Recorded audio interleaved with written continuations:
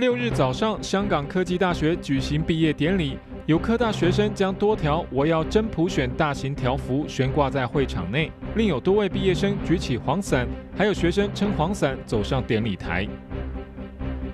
十一月六日凌晨，旺角集会现场爆发冲突，有蓝丝带成员不断对戴 V 怪客面具的集会人士进行言语及动作挑衅。双方发生争执，港警在分隔双方过程中过分使用武力，打伤两名参与集会者，引发人群不满。警员持盾推撞人群，让前排十多位市民跌倒，并向他们喷射胡椒喷雾。其中一名男青年被警员拳打脚踢，致头部受伤送医。